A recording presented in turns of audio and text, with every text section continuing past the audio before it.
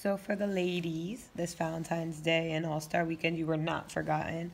Uh, Nike came out with this floral pack, um, four different sneakers, and they include the Air Force One Low, Ultra High Vandal LX, a Foamposite One that's actually for the whole family, and Air Swoopes 2. So all of the shoes they have like the same design of the black with the floral. You got some roses, some lilies. You know, has a nice color.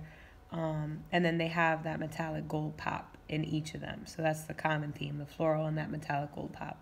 The florals give it, you know, that extra touch. Um, definitely great for Valentine's Day because what says Valentine's Day more than flowers, right? And that's when they're dropping, February 14th, so perfect timing. So whether you're an Air Force type, the Vandals, and you like to get that extra height, you know, some of us need it, uh, the Foamposite, or you like that air swoop look, there's something for you.